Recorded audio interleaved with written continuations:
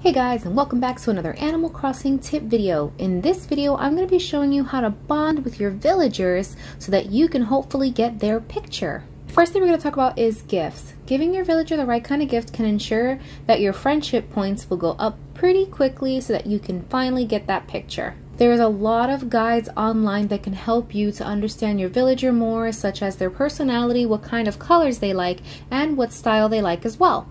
This can help to really give you an edge up when it comes to picking out a gift that's perfect for them. I also do want to mention that the price of the gift can also help to really give you some good points. Villagers respond very well to expensive gifts. But once again, also keep in mind, it still should have their favorite color and it should also have the style that they like. Another thing I'd like to mention is that it's very important to wrap your gifts before giving them to your villager. In one of the articles that I read, it said that giving a villager 10 pieces of a fruit that is not native to your island also helps to really boost up your friendship points. I can't say for sure if that helps. Um, it hasn't ever given me one of their photos, but as you can see from Judy's expression, she's kind of like, meh, about it. And most of my villagers react this way they're happy, but they're not as happy as they would be if you gave them something they really enjoy. Here's another example, but this time I'm giving Judy a striped maxi dress. And as you can see from her expression, she's a lot more happier with this gift than she was with the bunches of cherries. After that, usually your villager will do a cute little dance with some music notes on top indicating that they are super excited about this gift. And of course, they will also try it out in front of you. Next up is daily interaction. I read somewhere that someone said talking to your villagers six times a day helps to increase friendship points. While this may seem excessive, most of your villagers really don't mind. The only ones I've ever noticed that mind are the snooty or smug ones. It can get pretty taxing talking to your villagers so much, especially because they seem to say the same thing every day, so it can get pretty annoying and pretty boring. And unfortunately, even though you do this and you give them gifts, there is always that chance that a villager will still come up to you and say they want to leave. Don't feel bad, this is not you.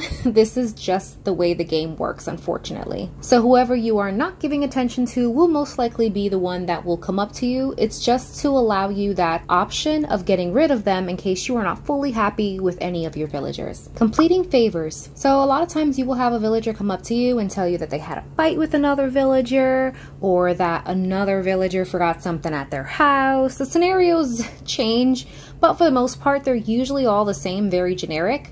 But the villager will ask you to please deliver a present to another villager. Of course, you can say no if you don't like the villager, but if you're trying to build a good relationship, then this is a really good opportunity to get extra fun points and complete this favor for your villager.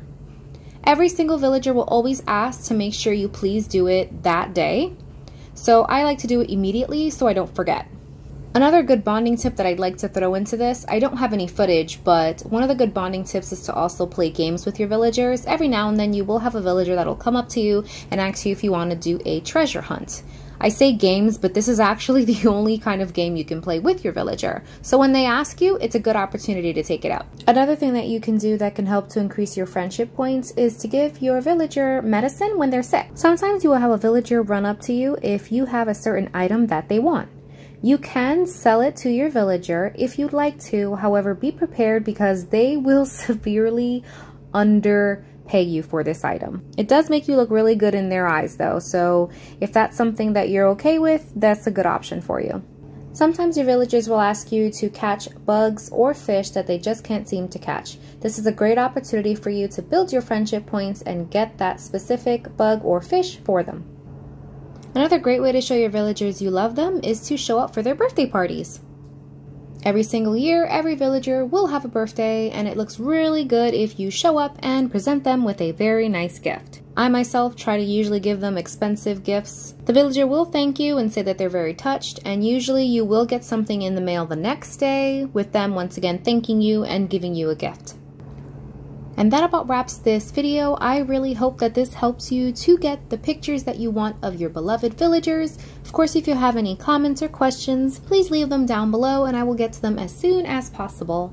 Thanks guys so much for watching this video and I'll see you on the next one. See ya!